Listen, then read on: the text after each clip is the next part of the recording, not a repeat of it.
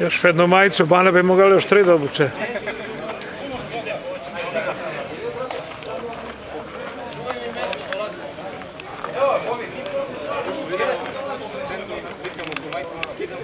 stavljamo na.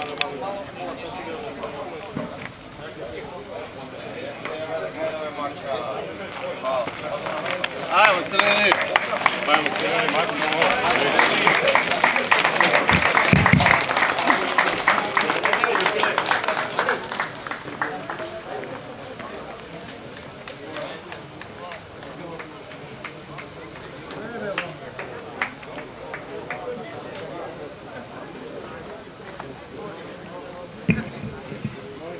Šukamo lako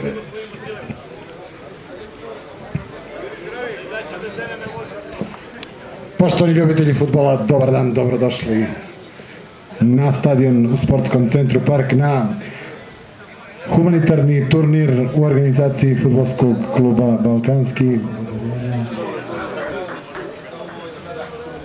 U nas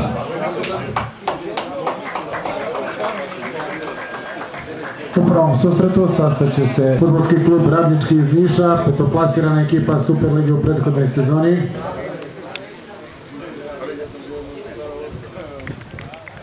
Denis Ristov, Ninoslav Cenić, udarna igla jedinstvo, Branislav Ivanov, udarna igla svih protivnika Balkanskog i Marko Mančić.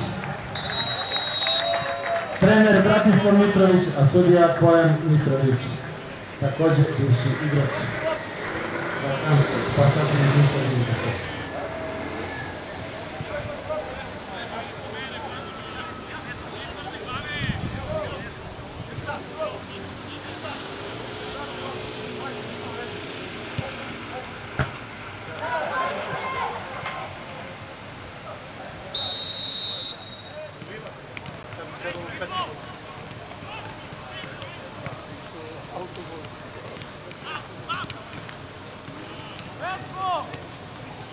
bivša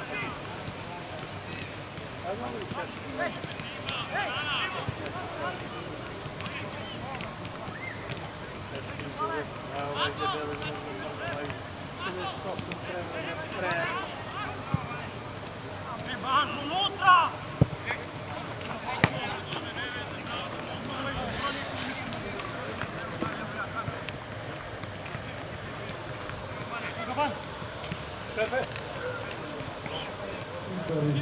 declarado feliz.